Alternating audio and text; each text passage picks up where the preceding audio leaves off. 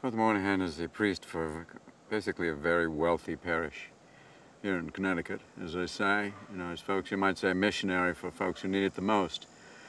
But, you know, um, he knows a lot of them very well, and, they, and they've, they've taken care of him very well.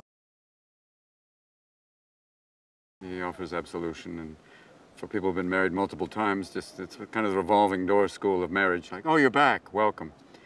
And confession is like really interesting. Basically a wedding of, of, of, an adopted child. And it's bringing everybody back, all the exes, the exes and present, present partners, and it's all the dynamic of that around the wedding. That's what makes it kind of wild. And then add to that alcohol and whatever else goes on, and then people sharing stories and coming back and, you know, what's going on and, you know, attractions, old flames being rekindled. I mean, he's very good. He just, he, he basically, we, here's, this, here's the drill. He, you do the script and then he lets you kind of go off from that. But the good news is the base is so good you don't have to worry.